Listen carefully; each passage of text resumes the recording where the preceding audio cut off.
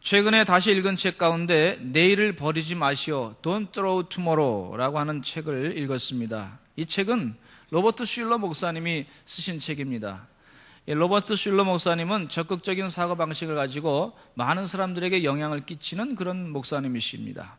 나이가 90이 되셨는데 지금도 건강한 모습으로 사역을 하시는 것을 보면서 저의 삶 가운데도 이분을 통해서 나도 나이가 들어서도 그렇게 사역을 하고 싶다 하는 그런 생각을 자꾸 갖게 합니다. 여러분들이 나이가 들어서도 이와 같은 그런 건강한 모습으로 사역을 하기를 원하신다면 이분의 생각을 자꾸 묵상하시길 바라고 이분의 삶의 그 뜻이 무엇인가를 자꾸 생각하면서 삶 가운데 적용하시기를 간절히 바랍니다. 요한 에슬레 목사님은 나이가 90이 넘었는데도 계속해서 복음을 증거하셨던 그런 훌륭한 분이셨어요. 오래전에 거의 300년 전에 살았던 인물이지만은 그러나 열심을 다해서 사셨던 그 신앙의 열정으로 말미암아 많은 사람들에게 큰 은혜를 끼치는 그 모습을 볼 수가 있습니다. 우리 서산 제일감리교 성도들도 이와 같이 나이가 90이 넘어서도 복음을 증거하는 열정이 식지 않는 하나님의 귀한 종들이 되시기를 간절히 축원합니다. 실제로 있었던 일인데 미국에서 어떤 분이 영어를 잘 글을 읽지 못하니까 좋은 그 수표가 하나 정부로부터 날라왔어요. 그러니까 tax return이라고 하는 것인데 당신이 그동안 tax를 이만큼 세금을 냈으니까 그것을 이제 다시 돌려줍니다. 하는 tax return의 그 수표가 왔는데 이 사람이 그걸 읽지 못하니까 이걸 이렇게 접어가지고 쓰레기통에다 이렇게 던져버렸어요. 그 tax return은 한 200만 원 정도 되는 한 2천 불이 넘는 그런 큰 돈이었는데 그걸 몰라가지고 읽을 줄 몰라가지고 귀한 줄 몰라가지고 이걸 이렇게 접어가지고 쓰레기통에다 집어넣어 버렸어. 이거 난 쓸모없는 거구나. 던져버렸어요. 그랬더니 2천 불이 그냥 쓰레기통에 사라지게 됐어요. 여러분 우리의 삶 가운데 하나님께서 내일이라고 하는 시간을 주었는데 그 내일이라고 하는 시간의 가치를 모르면요. 그 내일이라고 하는 시간을, 이 시간을, 귀한 시간을 쓰레기처럼 여기고 그걸 쓰레기통에 버려버리는 그런 어리석은 삶을 살게 될 것입니다. 하나님께서 우리에게 내일을 주셨습니다.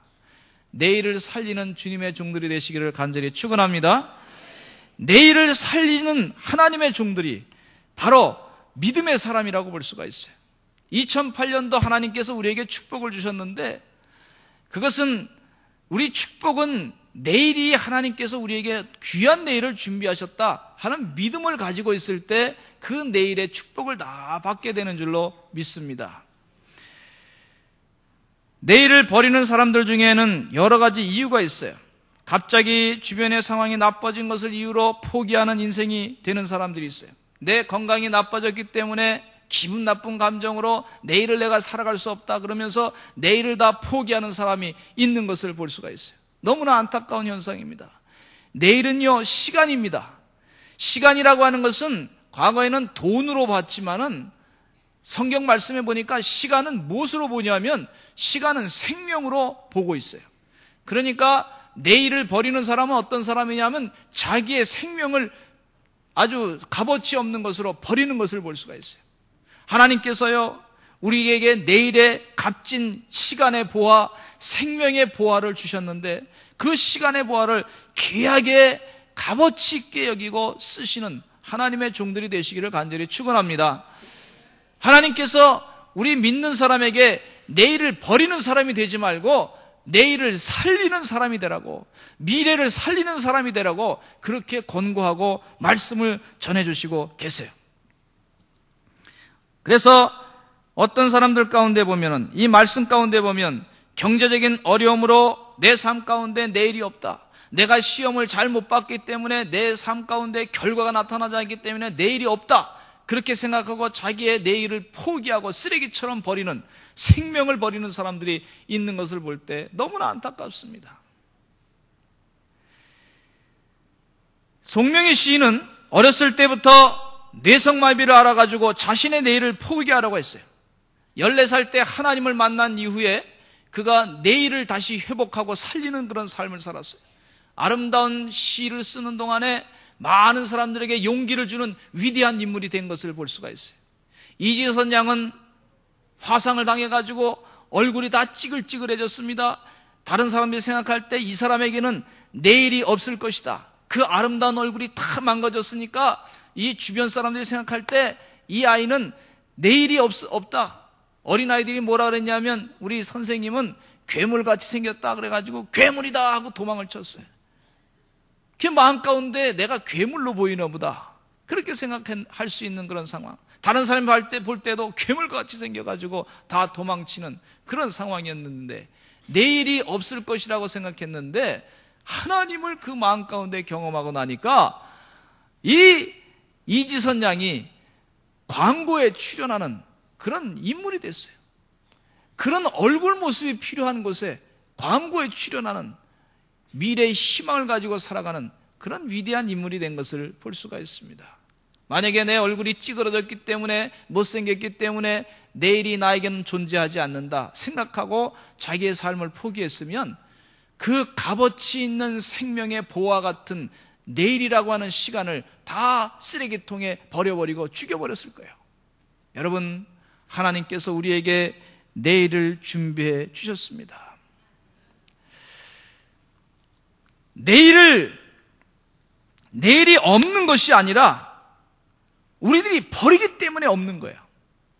내일에 대해서 실패를 작정했기 때문에 그 내일이 우리에게 값어치 있게 다가오지 않는 것을 볼 수가 있어요. 내일은 반드시 하나님께서 우리에게 미래를 준비해 주셨습니다. 믿습니까? 믿습니까? 가정이 조금 어렵다 그래서 이 관계 그냥 포기해버리고 나에겐 내일이 없다. 가정이라고 하는 이 내일의 희망이 없다 말이지. 그렇게 생각할 때 마귀가 그것은 주는 생각이에요. 여러분 이 마귀의 세력이 얼마나 교묘하게 우리를 공격하는지 몰라요. 그렇지 않습니다. 하나님께서 우리에게 내일을 준비하셨어요. 하나님께서 우리에게 내일의 아름다운 가정의 그 행복한 모습을 주셨어요. 하나님께서 우리의 가정 가운데 사랑의 모습을 주셨어요. 우리 자녀들이 부모님을 공경하고 우리 부모님과 함께 자녀들이 같이 여행을 다니는 그런 아름다운 미래의 가정의 축복을 주셨어요. 우리 가정 가운데 같이 예배 드리는 그런 아름다운 모습에 그 미래를 주신 것이 바로 하나님의 계획입니다. 여러분이 하나님의 계획 가운데 참여하시고 미래의 생명으로 살아가시는 시간의 아름다운 생명으로 살아가시기를 간절히 축원합니다. 태안에 기름이 유출됐는데요. 많은 피해를 당했어요. 내일이 없다고 생각하는 사람들도 있어요. 그러나 내일이 없는 게 아니라 내일이 분명히 존재합니다. 저는 희망 가운데 적극적으로 생각하는데 뭐 어떻게 생각하냐면 그 지난번에 방제 활동을 하느라고 가보니까 뭐 사람들이 쫙 깔려 있어요. 그 방제복을 입은 사람들 하얀 옷을 입은 사람이 우리 쪽에만 있는 것이 아니라 저 건너편 바닷가에 저 해변가에도 쫙 사람들이 깔려 있는 것을 보면서 이야 사람들이 20만 명이 넘게 왔구나 30만 명이 넘게 왔구나 뭐 이런 생각을 가지면서 우리 이 서산 태안 지방이 말이죠 하나님 은혜 가운데 그 30만 명이 한순간에 왔다 갔는데 1년 내내 그런 사람들이 그렇게 많이 오면 제가 볼 때 한 100만 명이 이상이 이쪽에 올 것이다. 그렇게 생각합니다. 아멘이 없으시네. 100만 명이 넘어서 한 200만 명도 올 줄로 믿습니다. 예. 하나님께서 우리 사실 서산 태안에 기회 주신 거예요, 사실은. 보시면요. 기름 유출은 문제가 있지만 하나님께서 이쪽 지역에 사람들이 200만 명, 100만 명 말이죠. 계속해서 그 봉사활동을 하는데 와, 와봐요. 그 왔다 갔다 하는 것만 해도 엄청난 거 아닙니까? 이 지역을 그냥 자연스럽게 알리는 거예요. 얼마나 하나님 축복해 주셨어요. 사람들이 많이 오는 지역이 발전하게 돼 있습니다. 지금은 좀 어렵지만, 어, 이 봉사활동 하시는 분들이 한 수십만 명이 말이죠. 봉사활동 했는데 제가 볼 때는 한 10년쯤 지난 다음에 이 봉사활동 하신 분들이 결혼해가지고 자녀들을 같이 끌고 오면서 예? 야 내가 옛날에 그곳에서 봉사활동 했어. 여기 와보니까 파도가 아름답지. 내가 닦았기 때문에 그런 거야. 아마 이렇게 자랑할 거야. 내가 말이지 여기서부터 저까지 막 닦았어. 그때 사람들이 볼 때까지 쫙 모였는데 나도 열심히 닦았어. 야, 이 바다가 얼마나 훌륭하냐 말이지. 이 부모님들은 이렇게 일했다. 그러면서 자랑할 거야. 자식들이 그 얘기 들으면서 아마 좀 과장해가지고 부모님들이 막 선전할 거 아닙니까? 예? 그 자녀들이 같이 오는데 앞으로 자기가 봉사한 데는 반드시 사람이 어떤 심리가 있냐면 한번 가보는 그런 심리가 있어요. 그러니까 자식들까지 같이 함께 해가지고 또 온단 말이죠. 앞으로 한 다섯 배 이상 더 올 줄로 믿습니다. 이야, 그러니까 적극적으로 생각하니까 이게 기쁜 거예요. 예. 이게 당장은 지금 좀 어렵지만 어려운 건 사실이에요. 그러나 이거 뭐 조금 몇 년 지나고 나면 하나님께서 축복 가운데 새롭게 이 지역을 크게 발전시킬 줄로 믿습니다. 하나님께서 축복하시고자 하시는 계획 가운데 사람의 생각을 뛰어넘어서 일하시는 하나님의 계획이 있단 말이죠. 수년 전에 어떤 일이 있었냐면 촛불 시위가 광화문 내거리에서 있었어요. 광화문에 계시는 상인들이 얼마나 경제적으로 어려웠습니까? 예? 그냥 촛불 시위 하다 보니까 뭐 주변에 전경들이 쫙 깔려있고 분위기가 스산하지 않습니까? 사람들이 촛불 시위 하는 동안에 무슨 뭐 물건을 사러 갈 수 있겠습니까? 분위기가 그런데 옷을 뭐 아주 좋은 옷을 입고 나갈 수 있겠습니까? 뭐 분위기가 안, 안 좋지 않습니까? 그러니까 주변 상가 사람들이 막 울상인 거예요. 근데 어떤 사람은 좀 얌체 같긴 하지만은 적극적인 생각을 가지고 있는 사람이었던 것 같아요. 제가 볼 때는. 근데 그 사람은 촛불 시위하는데 초를 어디서 잔뜩 띄어다가 초를 파는 거예요. 장사를 하는 거예요. 돈 많이 벌었어요. 아, 좀 얌체 같지만 사람이 적극적으로 생각하니까 뭐가 나타나더라고요. 너무 사람들이 부정적으로 생각하면 안 된다고 생각하면 거기에 생각이 딱 머물러 버려요. 그게 약점이에요. 그러나 생각하면 할수록 조금 얌체 같기는 하지만은 그러나 생각하면 할수록 하나님께서 무엇인가 기회를 자꾸 주신단 말이에요. 여러분 이 기회를 주시고자 하시는 하나님의 계획을 날마다 체험하시기를 간절히 축원합니다. 우리에게는 내일이 존재합니다. 하나님께서 29장 예레미야 29장 11절 말씀에 내가 너에게 주시고자 하는 생각은 평안이요 장래 희망을 주고자 하는 그런 계획이 있다 이렇게 메시지 가운데 말씀해 주고 있어요. 그렇게 하기로 작정을 했다. 하나님이 작정하신 거예요. 따라서 하나님이 작정하셨다. 우리가 작정한 게 아니라 하나님이 이미 작정하셨어요. 문제는 뭐가 문제냐면 내가 부정적인 생각을 가지고 있을 때 내가 그 작정하신 것을 하나님의 작정을 다 포기하게 만드시는 것, 만드는 것을 볼 수가 있어요. 여러분, 내일을 버리는 사람은 부정적인 사람들입니다. 안 될 것이라고 하는 그런 부정적인 생각이 가득 차가지고 얼마나 그 미래 하나님께서 준비해 주신 그 축복을 다 포기해 버리는지 몰라요. 너무 안타까워요.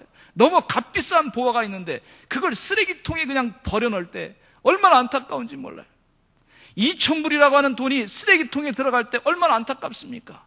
그런데 미래라고 하는 시간 가운데 보면 이것이 2천불을 넘어서 엄청난 보화가 있는 영원한 시간까지 쓰레기통에 버려버리는 안타까운 그런 삶을 우리가 살아서는 안 되겠습니다.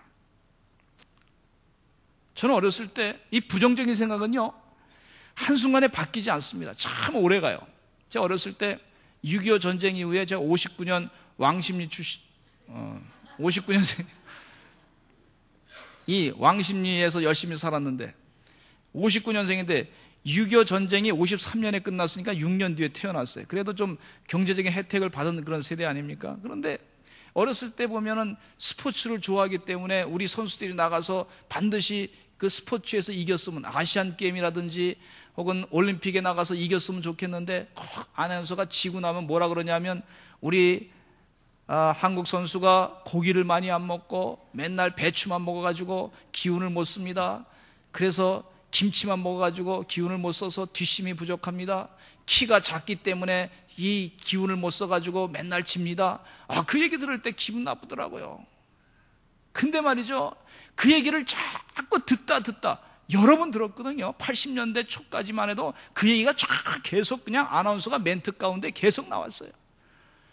그러니 제가 미국에 유학 갔을 때 사람이 주눅 드는 게 어떤 거 주눅 드냐면 아 서양 사람은 위대한 사람이고 동양 사람은 맨날 고기만 고기에 못 먹고 배추만 먹다가 그러다 기운 못 쓰고 뒷심이 약한 사람들이다.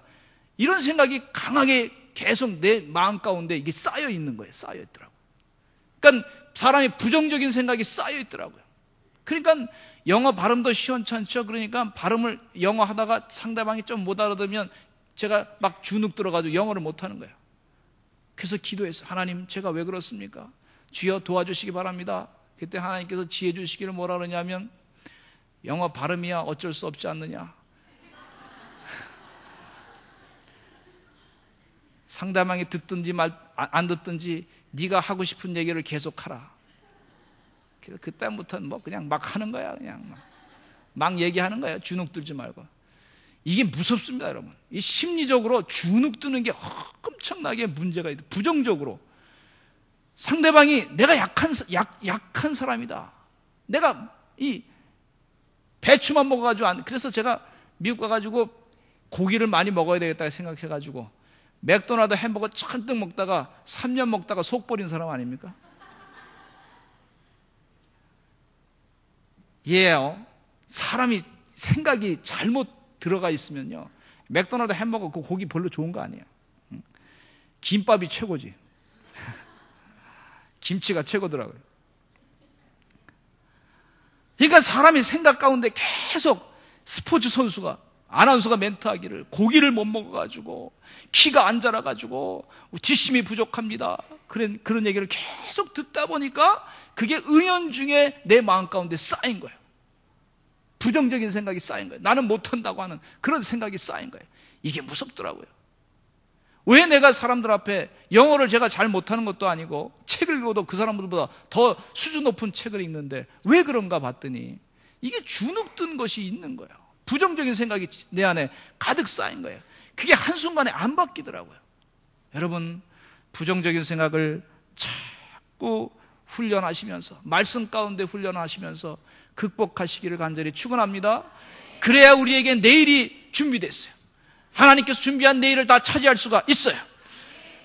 긍정적인 자세를 사, 사, 가지고 사시는 은혜의 종들이 되시기를 간절히 축원합니다. 내일을 포기하지 말아야 될 이유가 있는데 로버트 슐러 목사님은 여러 가지 이유를 말씀하시는데 그 중에서 제가 좀 어, 첨가해서 말씀을 드리면 첫째는요 모든 자원의 근원 되시는 하나님이 계시기 때문에 하나님의 약속의 말씀이 있기 때문에 내일을 포기할 수가 없습니다. 내일을 절대 버릴 수가 없습니다. 하나님께서 여호와 일에 미리 준비하셨어요. 준비하셔서 인도하시기 때문에 그 미래 준비하신 그 하나님의 사랑을 생각할 때 절대로 내일을 포기할 수가 없는 것입니다. 선천적인 장애를 극복하고 아름다운 목소리로 노래하는 가스펠 가수 레나 마리아라고 하는 사람이 있는데 이분은 1968년생입니다. 태어날 때 두 팔이 없어요. 다리 하나는 짧았어요. 긴 다리 하나 가지고 모든 걸 하는 사람이에요. 좀 대단한 사람이에요. 노래도 얼마나 잘하는지. 가스펠 송을 부르는데 너무 사람들에게 신금을 울리는 그런 은혜 말씀을 전하는 거예요.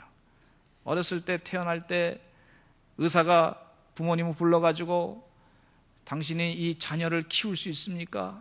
웬만하면 보육원에 보내시기 바랍니다. 이 어머니와 아들, 아, 남편, 아, 아버지가 기도 중에 하나님께서 응답하시기를 이 아이가 이렇게 태어날 때는 우리 가정이 예수 잘 믿는 가정이기 때문에 하나님께서 우리 자녀를 우리 가정에 우리가 키울 수 있기 때문에 우리 능력이 있기 때문에 이 자녀를 우리에게 보내주신 것입니다. 믿음을 가지고 이 아이를 키우기 시작했어요. 어렸을 때부터 수영을 가르쳤습니다. 요리도 가르쳤습니다. 장애인 키우는 게 얼마나 어렵습니까? 수영도 가르치고 십자수도 가르치고 피아노도 가르치고 여러분 발 하나 가지고 피아노 치는 거예요. 어? 어, 기가 막힌 거 아닙니까? 하는 거예요, 그래도. 성가대 운전도 하고 성가대 지휘까지 하는 거예요. 발 하나 가지고 성가대 지휘.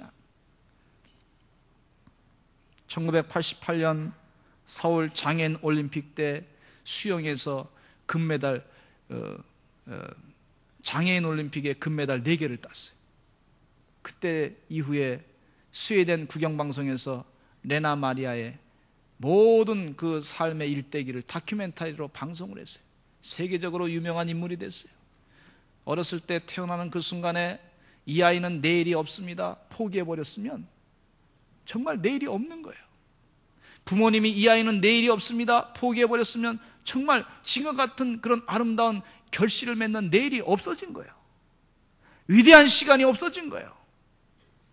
저도 목회하면서 너무 힘들었던 때가 있었습니다. 하나님, 저는 그 생각을 하고, 그 순간에 생각하고 싶지도 않아요.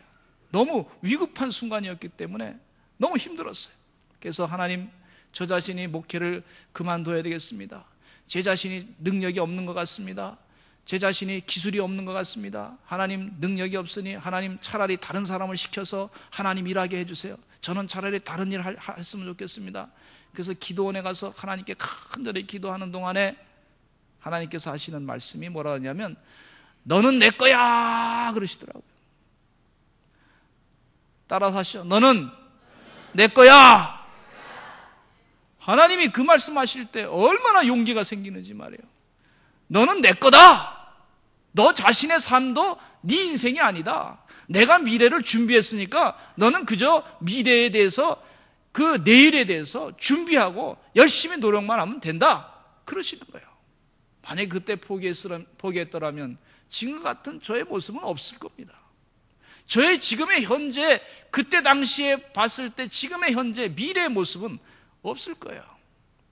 여러분, 하나님께서 우리에게 미래를 다 준비해 주셨습니다.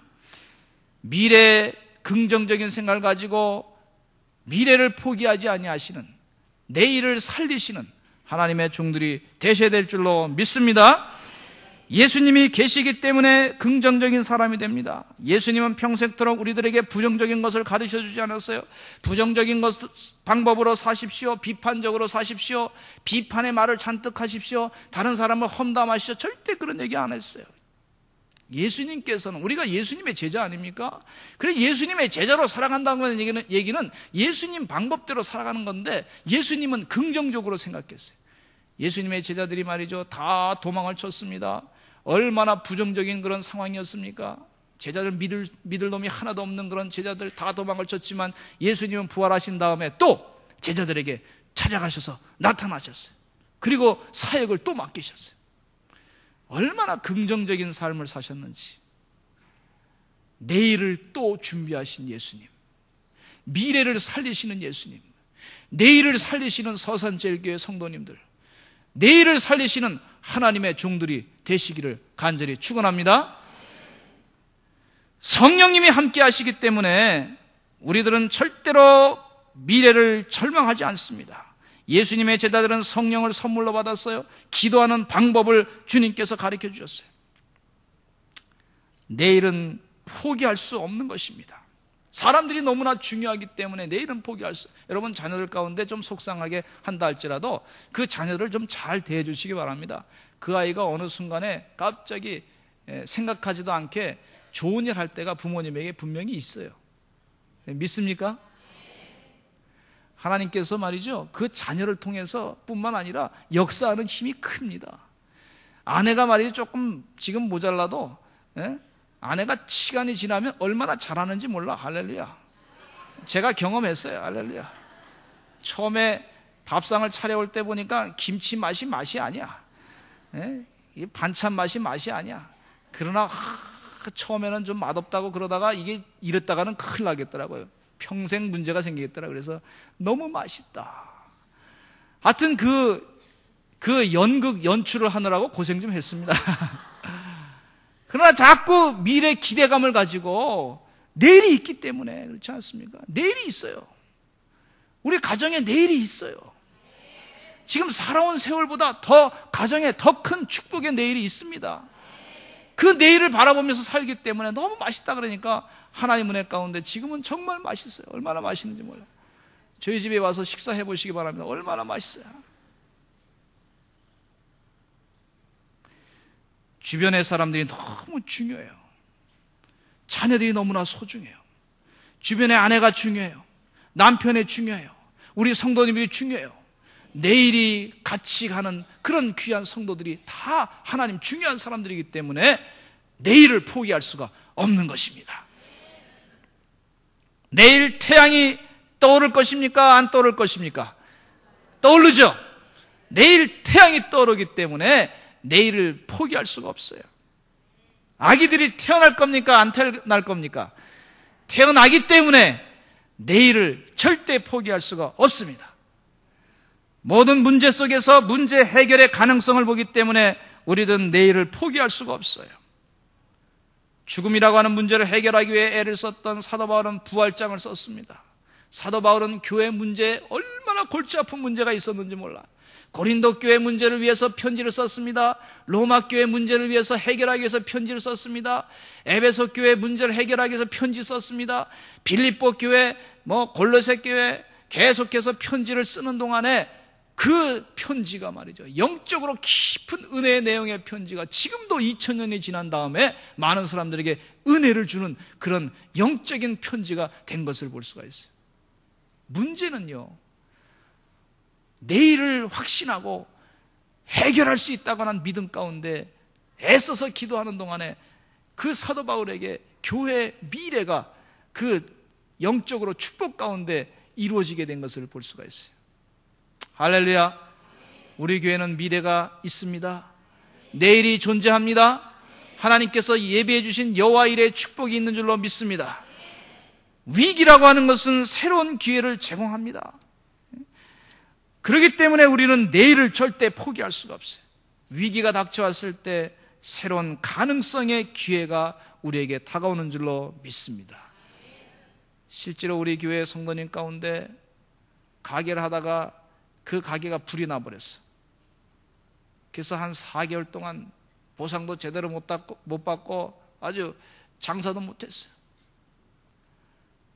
그래서 가게를 좀 다시 시작해야 되겠다 생각하고 찾다가 찾다가 가게를 하나 찾았는데 그 자리는 더 좋은 자리예요. 위기가 오히려 기회가 돼버렸어요. 장사가 얼마나 잘 되는지 몰라. 할렐루야. 하나님이 역사하신단 말이죠. 하나님의 역사하시는 내일을 바라보시는 주님의 종들이 되시기를 간절히 축원합니다.